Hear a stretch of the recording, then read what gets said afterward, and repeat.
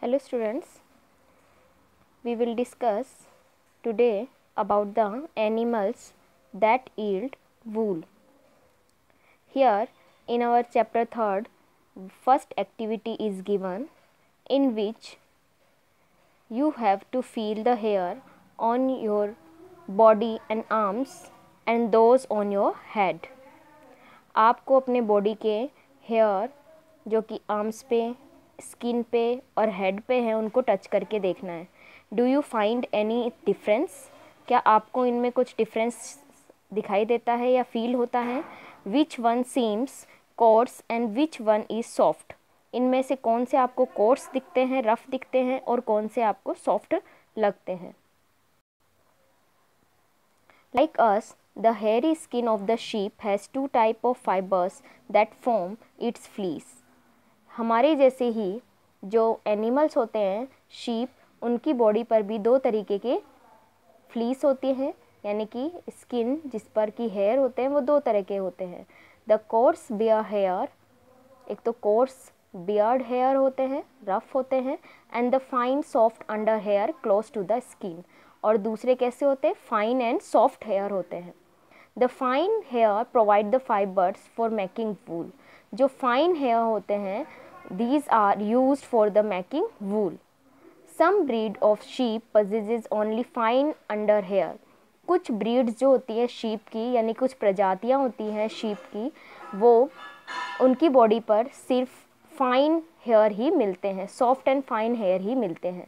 And their parents are specially chosen to give birth to sheep which have only soft under hair और उनके parents को specially choose किया जाता है ताकि उनसे होने वाले जो वो बच्चे बर्थ देते हैं, दूसरे शिप को जो बर्थ देते हैं, उनकी बॉडी पर सिर्फ़ सॉफ्ट अंडर हेयर ही मिले।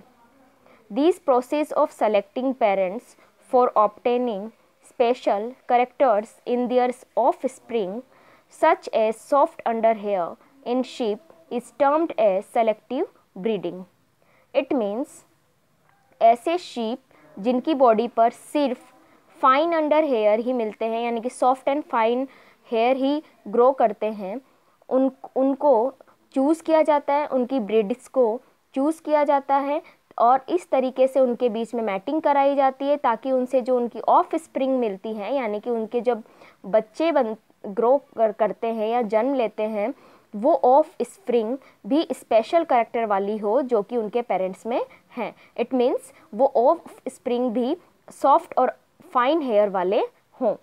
तो इस तरीके से जब इनकी ब्रीड्स को सेलेक्ट किया जाता है and this is known as selective breeding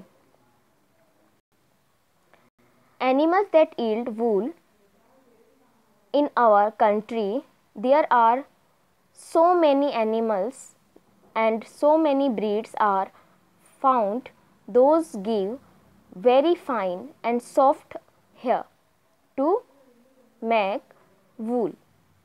हमारी इंडिया में भी बहुत सी ऐसी ब्रीड्स मिलती हैं शिप की, जिनसे बहुत ही सॉफ्ट और अच्छी वूल मिलती हैं।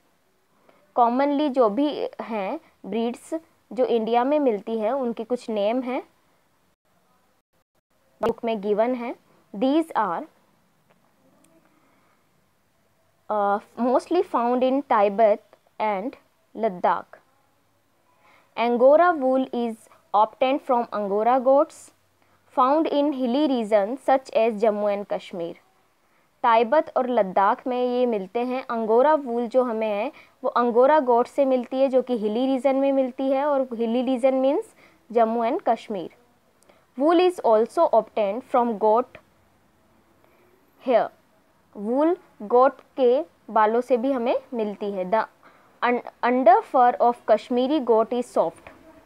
Under fur जो कश्मीरी गोट पर होती है, वो बहुत ही सॉफ्ट होती है।